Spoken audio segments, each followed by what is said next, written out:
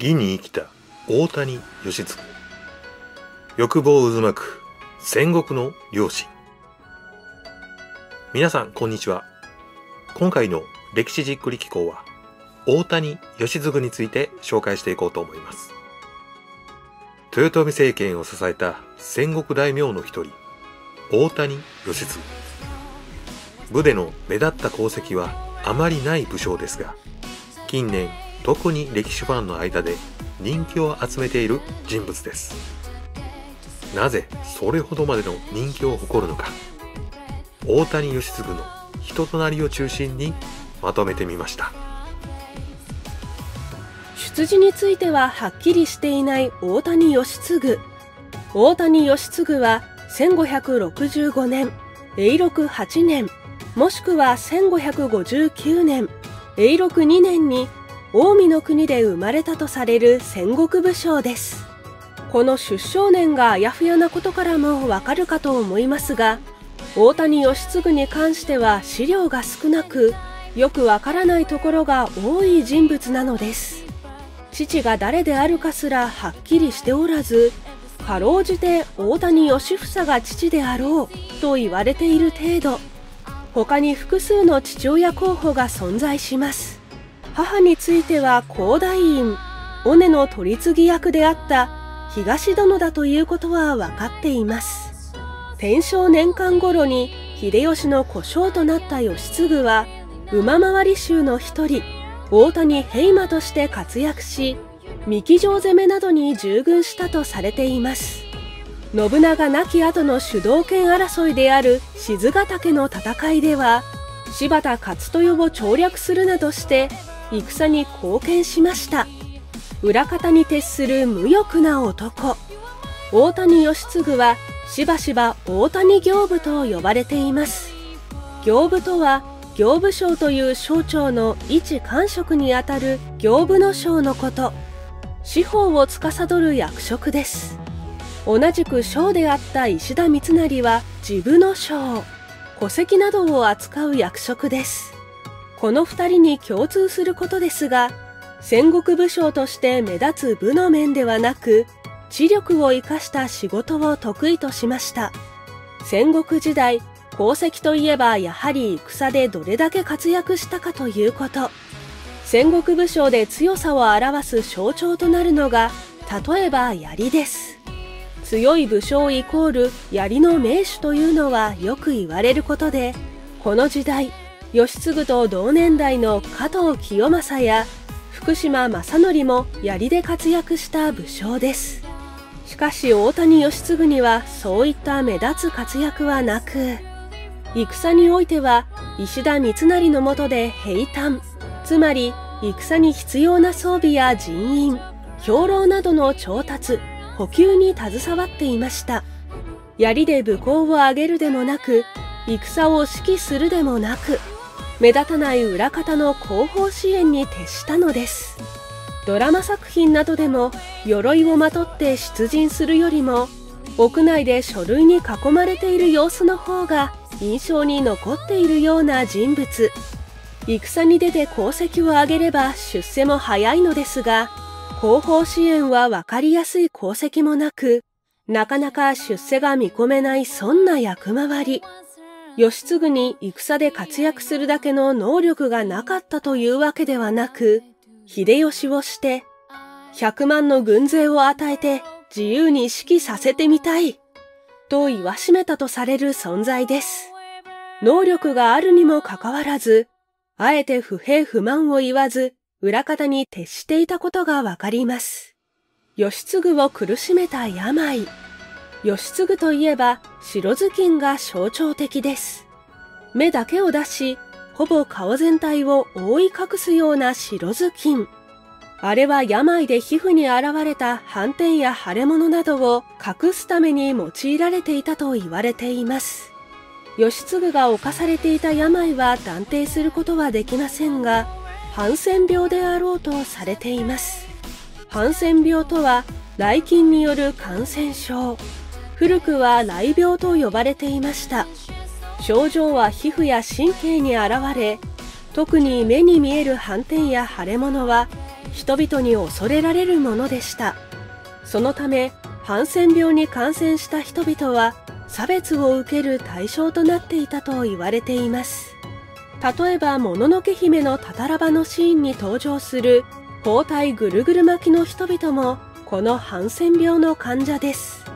映画での描写からもわかるように目に見えて現れる外見の変化で差別の対象となったのです。ただ梅毒であったという説もあり実際に何の病にかかっていたかは未だにはっきりしません。お茶の逸話。病気の話と関連する逸話が残っています。ある時大阪城で開かれた茶会で一杯の茶を回し飲みした際のエピソードです。人々は病気の感染を恐れて義継が口をつけた茶碗に口をつけるのを嫌がりました。おまけに義継が茶を飲んだ際鼻水海であったともが茶に落ちてしまったのだとか。誰もが嫌がる中で三成は気にも留めず飲み干しうまいからもう一杯と嫌がる他の人々に渡らないようにも気遣ったというのです。飲んだのは秀吉であったとも言われています。三成と秀吉の三根茶のエピソードと並んで関係性を表す有名な美談の一つ。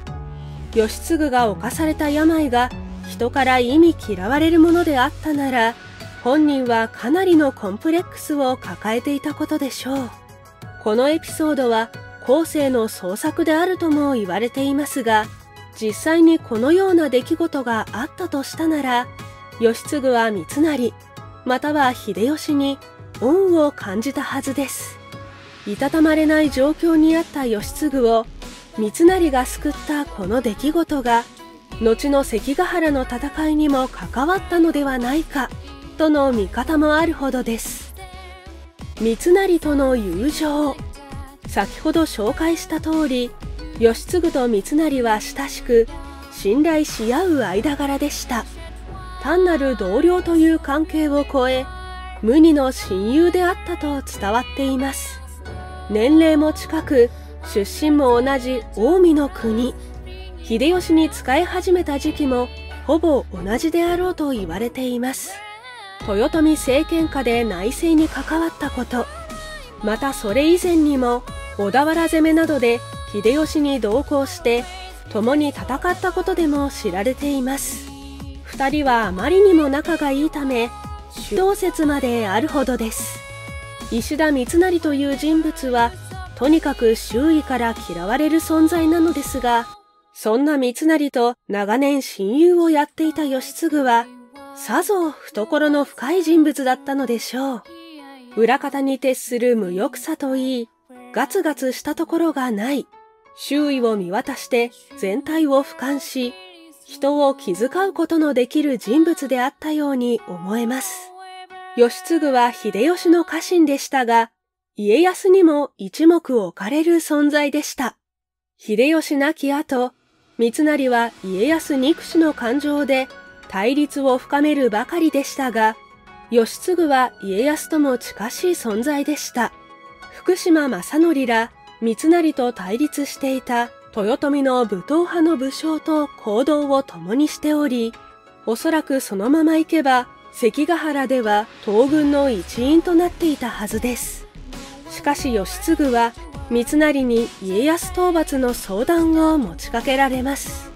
もちろん家康と三成の戦力差は圧倒的であり兵力からして勝てる見込みはありませんさらに言えば三成は人望がない。そういった理由から義継は三成を諭して思いとどまるように言いましたが三成は断固として考えを曲げませんでした。結果三成の決心の固さを知った義継は三成と運命を共にすることを決めました。三成の子だけを見れば負ける道しかありませんが西国諸国をまとめ上げて挙兵することができれば勝つ見込みはあると踏んだのでしょうか。義継は三成と違って人付き合いも良く他者を気遣う性格だったため自分なら多くの大名を引き込むことができるという自信もあったのかもしれません。全体を俯瞰してみれば家康が有利であったことは明らかでしょう。それを分かっていながら三成に味方したのはこれまでの友情や恩によるところが大きいのではないでしょうか。三成は人望がなく戦の指揮経験も乏しい人物。自分がついてやらねばという思いがあったのかもしれません。義継の最後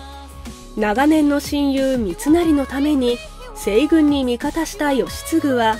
関ヶ原の戦いで自陣して果てました。小早川秀明が東軍に寝返ることを予想して自分の軍を秀明の軍のすぐ隣に配置した義継。万が一寝返った際に壁となる嫌な役割を買って出たのです。予想通り秀明は東軍に寝返り義継の軍は攻撃を受けますがしばらくは押し返して持ちこたえたと言われています。しかしその寝返りに備えて配置していた配下の軍までが東軍に寝返り大谷の軍勢はあっという間に壊滅してしまったのです。この大谷軍の壊滅が契機となり西軍は瞬く間に崩れ去っていきました。義継は病で目がかすんでほぼ見えない状態であり歩くことすらままならない体であったと言われています。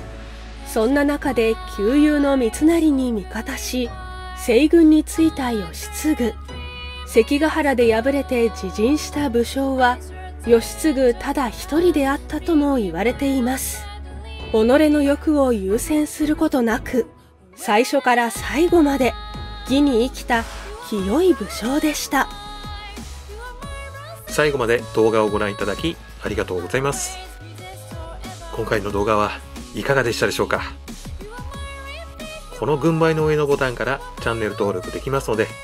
もしよかったら登録よろしくお願いします。あとこちらの動画もよかったら見てみてください。どうぞよろしくお願いいたします。